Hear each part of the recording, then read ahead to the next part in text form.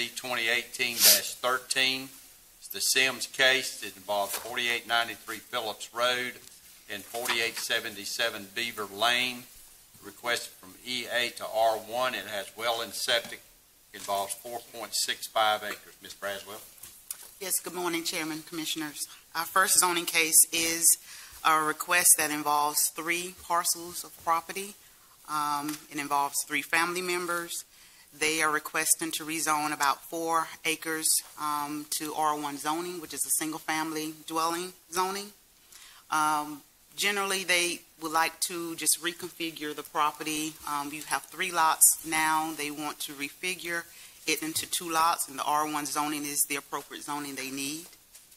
Concerning the future development map, the subject property falls within a rural residential character area, which R1 zoning is permissible within that character area. You have staff's recommendation as well as the planning commission. There was no one there at the planning commission speaking in opposition. Um, We believe that the request will be ready for your consideration on tomorrow night. Okay. Any questions for Ms. Braswell? Hearing none, we'll move on